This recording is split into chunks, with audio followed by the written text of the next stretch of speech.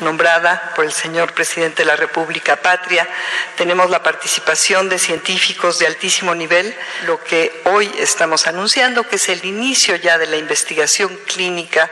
con pacientes voluntarios humanos. También se han hecho análisis en el propio laboratorio Abimex en cerditos que tienen un sistema inmunológico muy similar al humano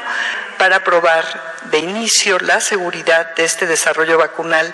ya en humanos y el inicio del reclutamiento de los voluntarios, que es lo que estamos anunciando en este momento.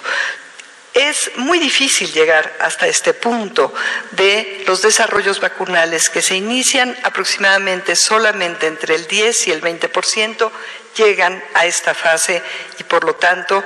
esta es una gran noticia que el presidente de la República nos permitió y nos pidió más bien compartir con el pueblo de México.